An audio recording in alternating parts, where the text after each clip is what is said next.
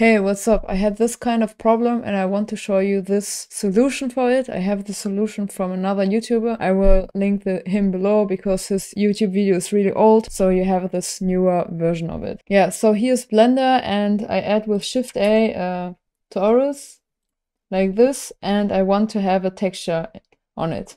So I'm going to the shading tab and I'm adding a new material and with Control Shift and T, I can select my um, textures.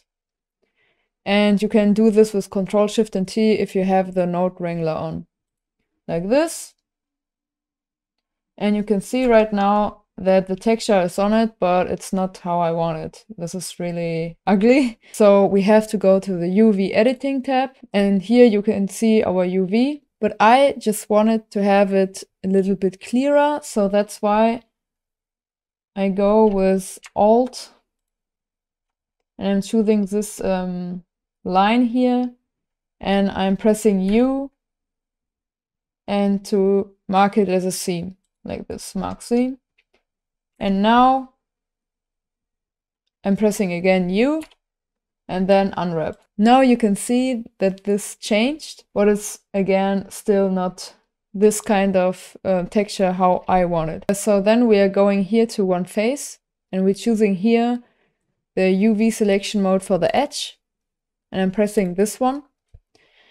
And then I'm scaling it up S, Y and 0 and this one I'm doing this also uh, and this one I'm doing the same S, Y and 0 and this one S, x and 0 and here again x uh, s x and 0 um, so here we have a nice quad. When you compare this to these other quads this is really even.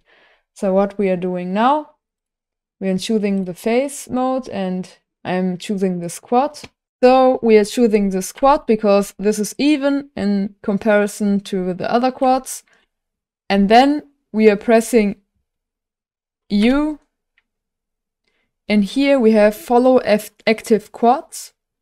And when you're pressing this, you can choose even, length, length, average, but I just want to have it even. So we're pressing even and OK. And now we can see that all the quads are now like this quad. Uh, and here in our view, we can see that the quads are like the same. I'm going now to the layout. Yeah, and this is how I wanted the texture. Maybe you also wanted this solution, so this video is for you. And thank you and bye.